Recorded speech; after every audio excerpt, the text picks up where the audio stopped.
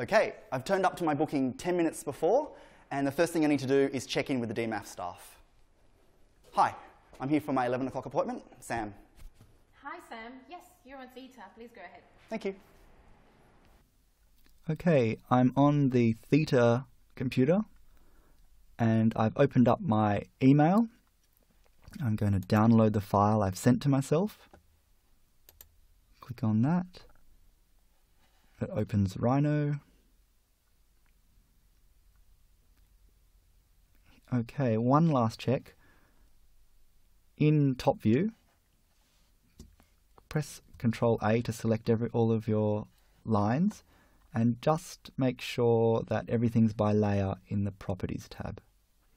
Especially if you're importing from another program, they can um, they can be in the wrong layer, so you can change them so that they're by, by so that it's by layer. Okay, now I want to laser cut layout 1. So I'm going to click on layout 1 and you can see here there's some instructions. If you get lost you can always come back to these instructions. I'm going to print this by going file print and this dialog opens. I want to make sure that the laser cutter is set for the material that I'm going to be cutting. So click on properties and select the material that you're going to cut in here. For me, that is corrugated card, and it's the thin stuff, 1.5. Now make sure all of these are unticked. It's possible someone before you has ticked on minimize job size. That's a useful button if you're using an offcut and want to move the laser and print or laser cut exactly where the laser is. But we're going to be using a brand new piece of material so I'm going to make sure all these are unticked. Okay, clicking on JC. Just uh, make sure that's one to one. Make sure this is on hairline. They should be this. They should be like that. Someone shouldn't have changed them, but in case they have been. All right, uh, now ready to click on print. Now that opens up uh, a pro. Uh, it sends it to Trotec's software called Job Control. You can find that uh, in the taskbar. Open that up, it should look like this. And you can click on this little eye, the what you see is what you get button, and that will show you the line work of what your of your job. Now that looks like the person before me's work. I need to remove that. So I'm going to right click it and go remove job. You could also delete it. So now that the plate is clear, we need to find my file over here. Uh, I'm going to look in the preview down here and see, looks like that one looks like mine. If you look at the other ones, you can see other people's files. But find your one and double click it and it will move it into the plate. Clicking, uh, right clicking on the uh, job and clicking on vector ordering clicking start, close that. We can now reduce the, our, our time.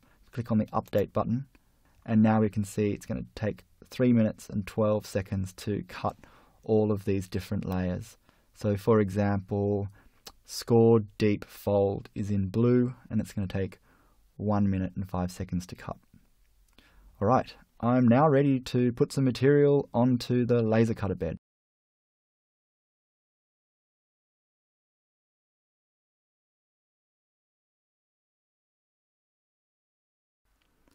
The material needs to be placed as flat as possible on the bed. Make sure it's not riding up on this side lip. You should be able to find some scrap pieces of plastic that can be used to close the holes around our material to have it sucked down nice and flat on the bed. We then use the arrow keys on the laser to move the laser to roughly the middle of our piece you'll be able to find a set of instructions on how to focus the laser printed on the laser's console. Use the up and down keys on the laser console to slowly move the laser bed until the stick just falls off.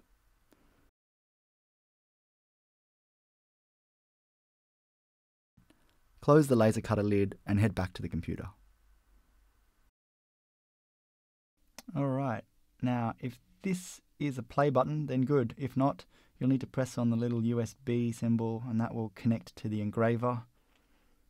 And once that's done, we'll be good to press play and we're laser cutting.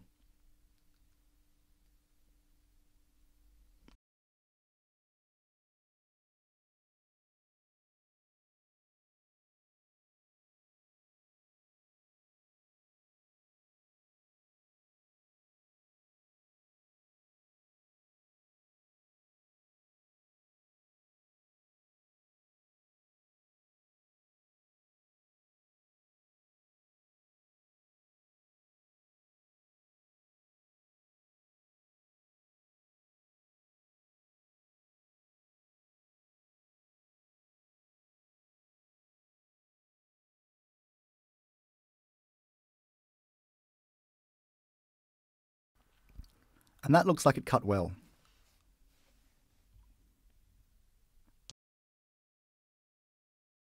So I've finished my cuts and I've left the area nice and clean for the next person. If any pieces fall underneath this grill, you can get a DMAF staff person to pick it up and to put it back down. It's important that a staff member does this so that we can ensure that the area is nice and level. I'm now ready to go to checkout. Hi, I used uh, one sheet of one point millimeter box board and half an hour on theta. Sure, that'll be $27, please. Thank you. Thank you. All done. Thank you. Cheers. Now, this large piece of material somebody else can use, so I'm going to put it in the usable offcuts area.